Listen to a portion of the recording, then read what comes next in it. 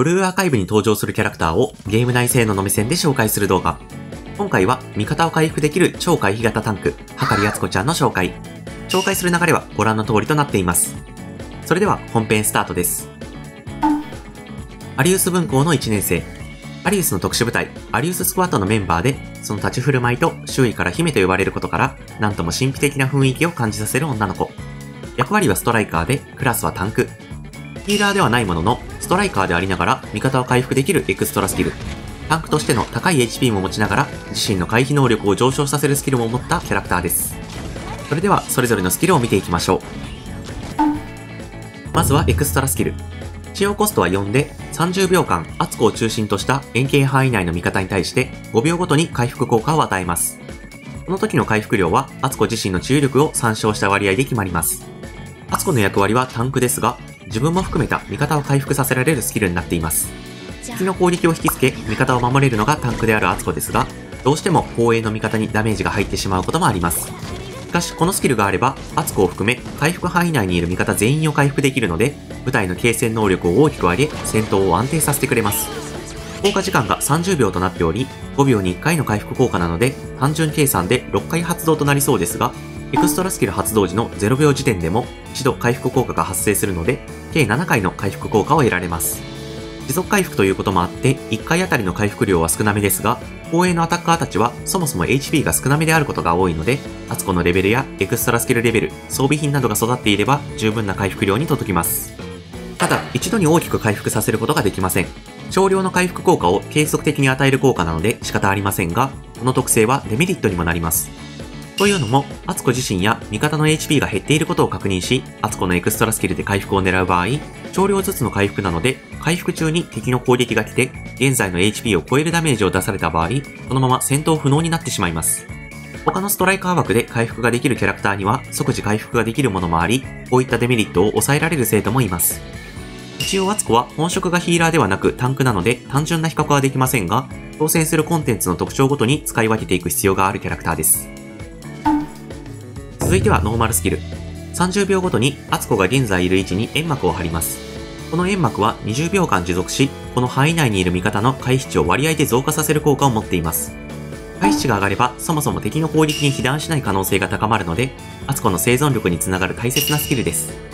アツコがいる位置に煙幕が展開されるので、基本的に恩恵を受けるのはアツコのみですが、一応味方がこの煙幕に入ると同様に回避値バフを受けられます。ただ、範囲がそれほど広いわけでもなく、アタッカーがタンクの位置まで来て攻撃する状況はそこまで多くもないので、単純にアツコ自身の回避値バフと割り切った方が使いやすいです。注意点として、煙幕に入っている間にバフ効果を受けられるだけなので、当然煙幕から出たら回避値は元に戻ります。単体のボス戦闘などの際には基本移動はないので、そのまま煙幕の恩恵を受けられますが、任務攻略などの雑魚的殲滅ステージでは、ウェーブを処理すると移動が挟まるので、発動した煙幕を放置して先に進んでしまいます。また、30秒経過時点の位置で煙幕を展開するので、移動途中に発動タイミングを迎えたら、移動中に煙幕展開、その後、アツコが移動し煙幕は放置といったことになるので気をつけましょう。次はパッシブスキル。アツコ自身の回避値を割合で増加させてくれます。先ほどのノーマルスキルと違い、こちらは常時発動なので、アツコの基本的な回避能力を高めてくれるスキルです。保養武器を腰にまで解放すると、注意力を固定値で上げてくれます。エクストラスキルによる回復はアツコの注意力を参照するので、これを底上げしてくれるありがたい効果ですが、装備品の強化でもアツコの注意力はしっかり上がるので、何を置いても優先するほどのスキルというわけではありません。最後にサブスキル。アツコの HP が30%以下になると、自身の回避値が割合で増加します。戦闘不能間近になると、回避値が上がり、被弾しにくくなるといったスキルです。レベルにもよりますが、上昇量はかなり大きく、前日のノーマルスキルと同時に発動すると、スキルレベル最大が前提になりますが、回避値が85%増加することになります。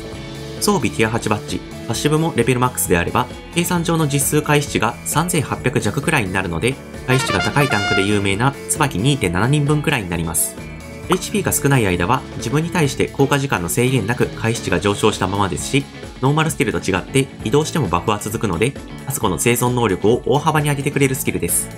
ただ、発動は HP が30%以下になってからなので、HP が30%を超えている状態から一撃でアツコがやられてしまうと、発動することなく戦闘不能なので注意が必要です。とにかく戦闘が安定します。アツコが前線で攻撃を受け止めてくれる上に、防衛がダメージを受けてもエクストラスキルで回復できるので、戦闘の安定感がぐんと高まります。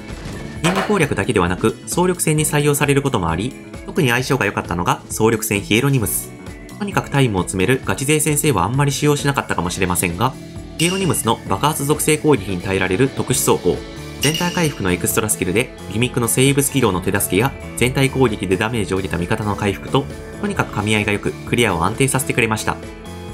アリウススクワットの一員です。アリウス文庫の生徒は、アツコを含め4人いますが、その中の日和と沙織は舞台に編成したアリウススクワットの生徒の数でスキルの効果倍率が変わる生徒です。そのカウント1人分になってくれるという点と、日和はそもそもスペシャル枠でフィールドに出ず、沙織もアタッカーでタンクを必要とすることから編成のしやすさも助かります。まともに被弾すると解けます。エクストラスキル以外の全てで回避値を上げる回避特化のタンクゆえ防御力が低く、まともに被弾し続けるとあっさり戦闘不能になります。エクストラスキルも HP の低いアタッカーなどの回復には十分な量ですが、タンクとしてそれなりの HP を持つアツコにとっては、スズメの涙ほどの回復が少しずつ積み重なっていくので、回避できなければダメージ量が回復量を追い越し落とされます。前線維持が得意なので、戦術対抗戦での使用も考えられますが、ノーマルスキル発動までに30秒かかるので、それまでに被弾して落ちるリスク。対視値を高めても避けられるかどうかは運の要素もあること。対抗戦は相手の火力が高いので、サブスキル発動圏内に入る前に一撃で沈められることもある。といった悩みもあるので、期待しすぎには注意です。可愛いです。アツコはとっても可愛いです。おとなしそうな雰囲気をまとっていますが、ストーリーやモモトークで彼女の勇気やお茶目さを垣間見ることができます。特にアツコを含めたアリウス生徒の物語、エデン条約編はぜひプレイしてほしいですし、損しないので、その後には絆ストーリーも読んでみてほしいです。というわけで、アツコ推しの先生はぜひぜひ育ててみましょう。いかがだったでしょうか？またアツコを持っていなかったり、どんなキャラなのかわからない方への簡単な紹介になっていたら嬉しいです。この動画は僕が生徒を実際に使用してみて、色々思っていたことをまとめてみた動画です。僕よりもたくさんブラーカをやってきている先生はいっぱいいますので、あくまで一先生の意見という内容になっています。もしよかったらチャンネル登録や高評価いただけると励みになります。ではまた次の動画や配信でお会いしましょう。